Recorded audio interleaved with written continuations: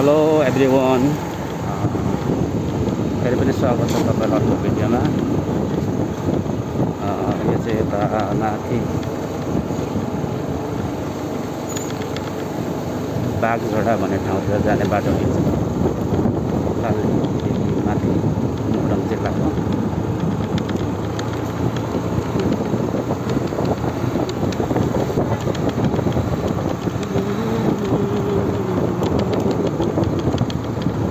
पानी पर्ने लागिसक्यो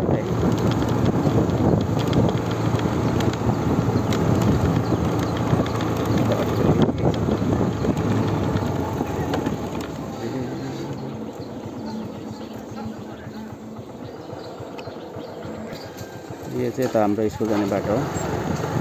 यहाँ चाहिँ पिच भएको छैन पिच बनाउँदैछ यहाँ पनि ठिकै।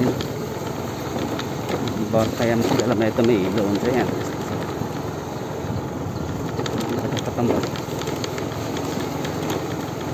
설레쳐요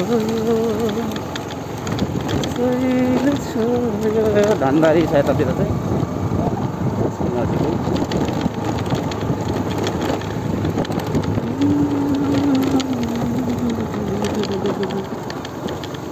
그러잖아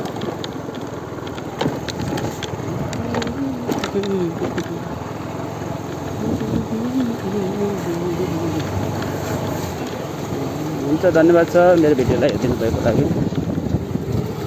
भित्रमा पस्नु लागेको अब बाई बाई नेक्स्ट ब्लग